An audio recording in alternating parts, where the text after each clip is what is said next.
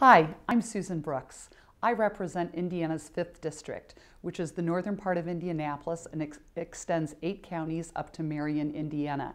I represent a very urban, suburban, and rural district. I am a new member of Congress and I'm excited to be here. I ran for Congress because I wanted to restore trust and faith in Congress. I'm the mom of a 19 and a 22 year old, and quite frankly, I wanted to try to clean up the mess that Washington has created for the next generation. I am a former United States Attorney. Most recently, I've been a community college leader in Indiana.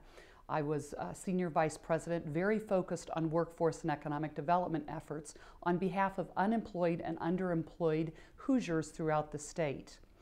Education is so very important. I think that it is the key to happiness, quite frankly, because if you have meaningful education, it can lead to a meaningful job and meaningful work, which ultimately leads to, I think, a happy and productive life.